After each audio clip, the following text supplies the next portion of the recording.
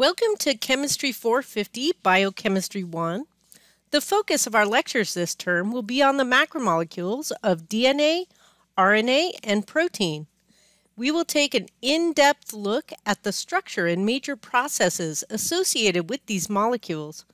By the end of the term, you will be familiar with major biochemistry techniques used in the lab to study DNA, RNA, and proteins the chemical structures of these major macromolecules and their biosynthesis through the processes of DNA replication, transcription, and translation, major enzyme classes and enzyme kinetics, and regulatory mechanisms controlling the expression and activity of proteins within the body. Where possible, we will relate these topics to health and medicine. In the first chapter, we will focus on an overview of the cellular, physical, chemical, and genetic foundations that provide the underpinnings for studying the processes of biochemistry. Most of this chapter should feel like review material that you have visited before in previous classes. If you find you are struggling with content in these areas, please talk with me, and I can provide you with some additional background information. Having a solid foundation will help you with the in-depth material covered in later chapters. Biochemistry studies the cellular processes of living organisms at the molecule level.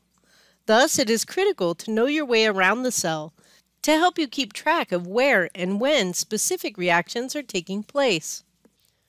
All living cells have basic properties that help us define them as living. Cells can replicate themselves.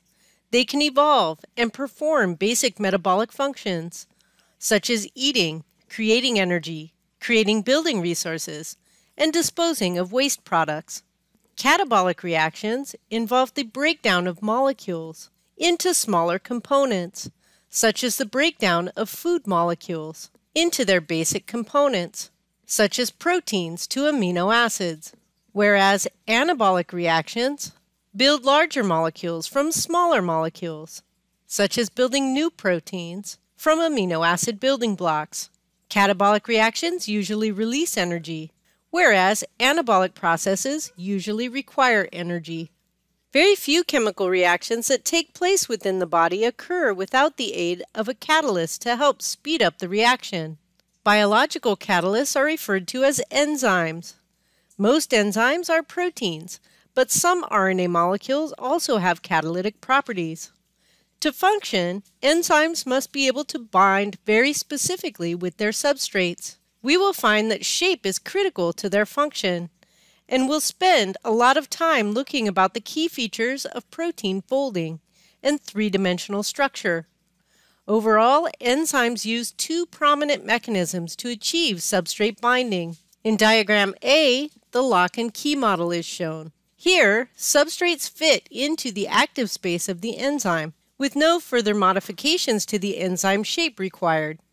Essentially, the shapes of the molecules match, just like a key has been designed very specifically to open a specific lock. Figure B shows the induced fit model, where the initial interaction of the substrate with the enzyme causes the shape of the enzyme to change to better fit the substrate and mediate the chemical reaction. Enzymes can use either of these models to perform their biological activity within living systems. The location of biochemical reactions is also very important to maintain biological processes that will support life. For example, oxygen must be taken up by the lungs and delivered to all the cells of the body. And insulin must be made in the pancreas and delivered to the liver when blood glucose levels are high. Thus, cells are highly organized places. Eukaryotic cells, the cells of animals, plants, fungi, and protists, are the largest and most complex cell types. Since they are so large, they contain small compartments called organelles that do specialized functions.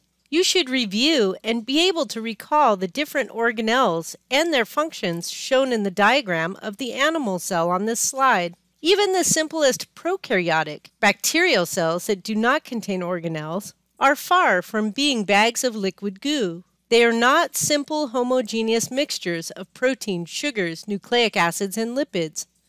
Reactions within cells are highly specific and localized to small regions within the cells and are carried and transported by specific cellular machinery to their correct locations.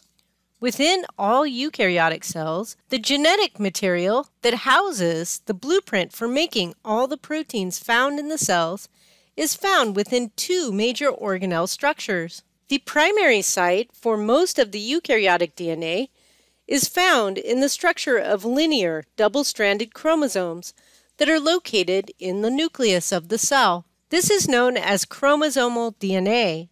Genetic material is also found within the mitochondria. This organelle is thought to have been derived from a bacteria that was originally engulfed by an early pre eukaryotic cell.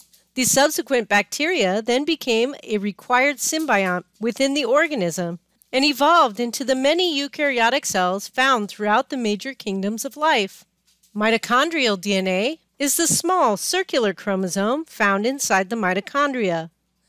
These organelles found in cells have often been called the powerhouse of the cell, as energy in the form of ATP is created here.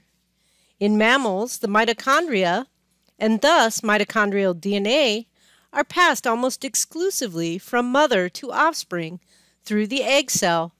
Cells and the organelles that they contain are surrounded and defined by lipid bilayer barriers. Lipid bilayers are defined by the phospholipid structure that contains polar head groups on one side, shown as the red balls in the diagram, and two hydrophobic tails that face inward into the membrane structure. Embedded within the lipid bilayer are proteins and cholesterol. Notable features of the membrane is that it behaves much like a liquid or a semi-solid. The proteins embedded within it can float around and move in a dynamic way laterally through the membrane. This is known as the fluid mosaic model. The lipid bilayer provides a barrier structure to the cell and internal organelles that determines what molecules can pass into or out of the cell or organelle structure. Thus, lipid bilayers are critical structures for cellular communication and cellular transport of goods. Due to the dynamic and fluid nature of the membrane structure, substructures within the membrane can occur within localized regions. Thus, compartmentalization of functions can even occur at this level of cellular structure. Essentially, one part of a membrane is not exactly like another part of the membrane.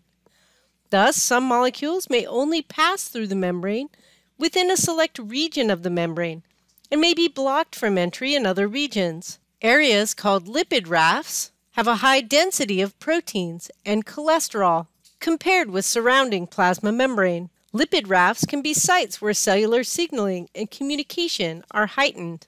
Due to the hydrophobic nature of lipid bilayers, only small, nonpolar molecules can cross the membrane by simple diffusion. This would include molecules like oxygen or carbon dioxide, as well as some steroid hormones such as estrogen. Recall that diffusion is the movement of molecules down their concentration gradient from an area of high concentration to an area of low concentration. This process does not require energy and will happen spontaneously. Larger or more polar molecules cannot cross the membrane without the aid of a transport protein. If a polar molecule is moving through a transport protein down its concentration gradient, this is known as facilitated diffusion, or the movement of the molecule is facilitated by the transport protein. No energy is required for this process, and it will also proceed spontaneously as long as transport proteins are present and open.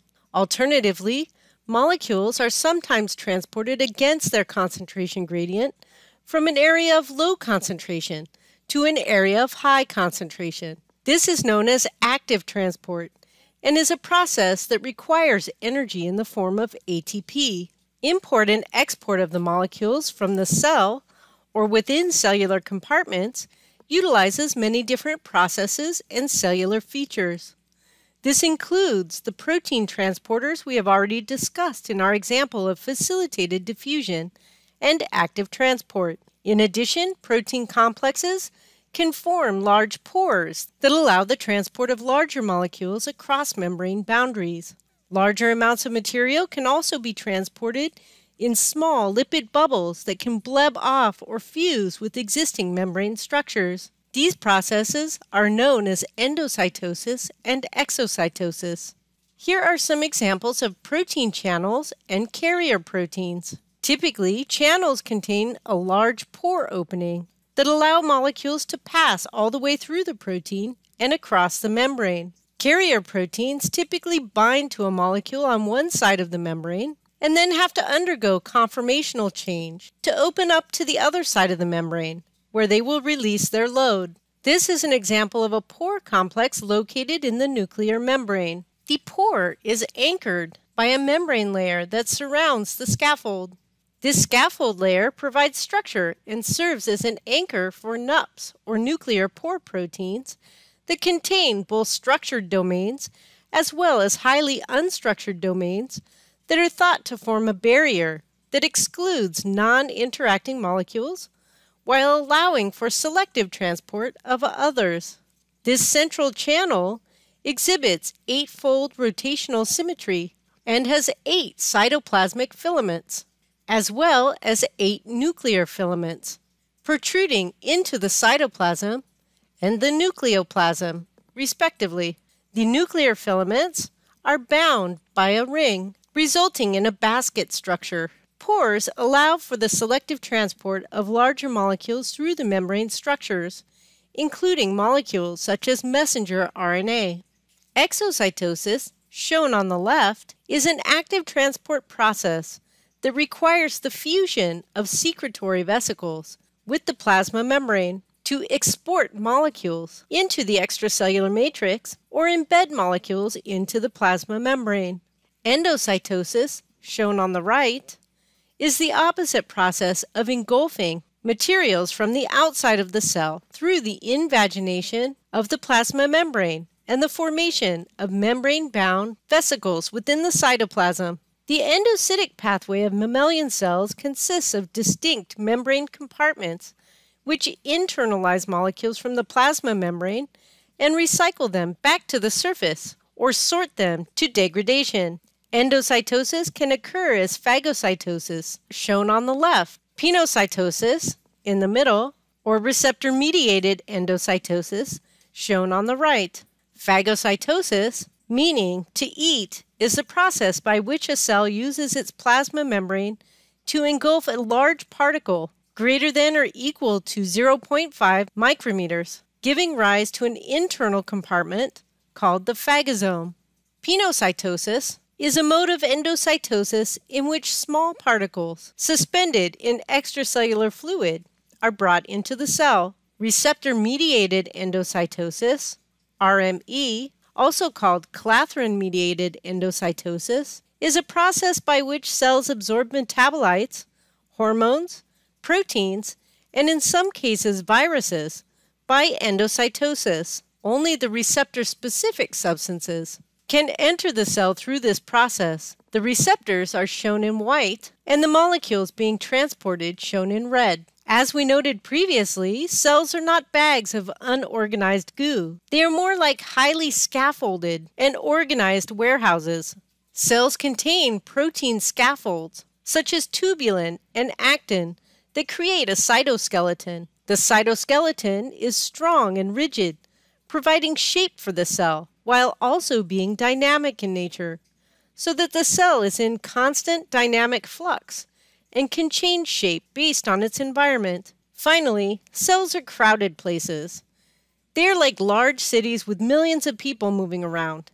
There's a lot of traffic, Thus, cells must be very organized so that the correct molecules are trafficked to the correct locations for key biological activities to occur. Overall, cells are highly organized, highly compartmentalized, and contain complex machinery for the transport of molecules. Overall, in this section, you have reviewed the cellular framework important for our exploration of biochemistry. You have reviewed the major types of cells prokaryotic, and eukaryotic, that make up both the smallest and largest living organisms. You have reviewed major organelle structures found in eukaryotic cell types and explored the movement of molecules across the plasma membrane borders that define both cellular and organelle boundaries. Overall, cells are very rich and dynamic places that are capable of doing very specialized functions, such as this white blood cell chasing a bacteria. In the next section, we will review the physical foundations that help lay the groundwork for the field of biochemistry.